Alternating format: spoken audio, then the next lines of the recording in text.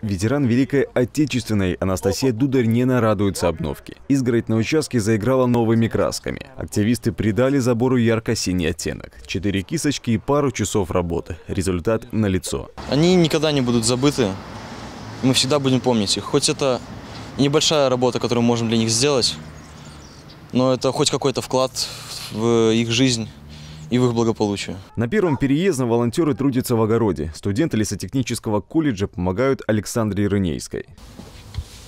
Вскапываем землю, готовим к посадке. Вскоре здесь вырастет картофель. Я очень рада, очень довольна, что помогают простарелым людям. На дворе трава, на траве дрова. Активисты БРСМ помогли пенсионерке сложить поленья. Одно к одному. Запаса хватит минимум на три месяца. В акции мы помогаем пожилым людям, я уже не первый раз понимаешь, что ты делаешь э, небольшую, но радость пенсионерам. Если ветеран не идет на парад, то парад идет к ветерану. Сейчас идут последние приготовления. Жители этих домов ничего не подозревают. Солдаты, прапорщики, офицеры чеканят шаг. Ритм задает оркестр военной комендатуры. Семен Серебренников наблюдает за происходящим. На мундире с десяток наград. Орден Красной Звезды. Медаль за отвагу. Понравилось. Я не ожидал. Я, я в ракетном полку бываю часто.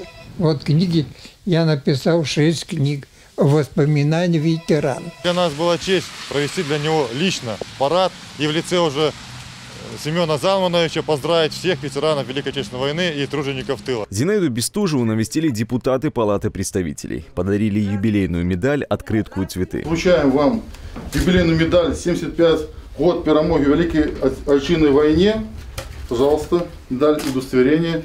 Желаю прежде всего крепкого здоровья. Держитесь, крепитесь. Спасибо, спасибо. Живите долго, счастливо. Во время войны женщина работала на Архангельском заводе. На предприятии штамповали детали для танков, зенитных комплексов. Победу 45-го труженица тыла встретила за станком. Гордость и радость, чтобы меня не забыли, ничего. Михаил Волчек при параде. Ветеран Великой Отечественной ждет гостей. Фронтовые фото, воспоминания о боевых товарищах. Подростком готовил бутылки зажигательной смесью, сражался в тылу врага, собирал сводки. 9 мая 45-го встретил в Бобруйске. Здравствуйте, Виктор, здравствуйте. Здравствуйте. С праздником. Спасибо вас, праздником. Крепкого здоровья, благополучия. Спасибо вам, спасибо, Дай Бог. спасибо. Юбилейная медаль к 75-летию Победы появилась и на кителе Ивана Бычкова. Когда немцы оккупировали Могилев, ему было 13 всего за месяц получил специальность разведчика и попал в состав стрелковой дивизии 3-го Белорусского фронта. Позже храбрый солдат участвовал в штурме Кёнигсберга. Такого высокого жизненного уровня наш народ не видел, как сейчас. В доме Бориса Мазулевского тоже праздник. Красные гвоздики, подарки, памятный коллаж. Вот фотографии, которые вы где воевали, и вплоть до теперешнего времени.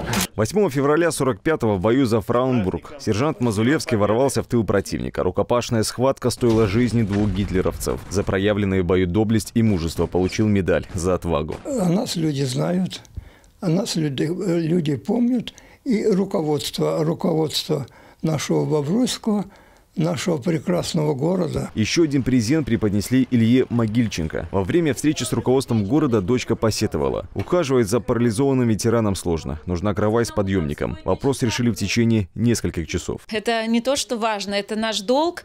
Э, долг перед нашим уважаемым ветераном, долг перед перед самим собой. Лучше добрые дела делать сразу. Я не ожидал, что так быстро среагируют. Очень спасибо. хорошо, спасибо. Свидетелей войны в Бобруйске сегодня лишь 105. Никто не забыт, ничто не забыто. Максим Кембель, Андрей Богдан, Максим Галенко, Владимир Гребеневич, Мария Бересневич, Анастасия Похлестова, Дмитрий Шевцов. Итоги недели.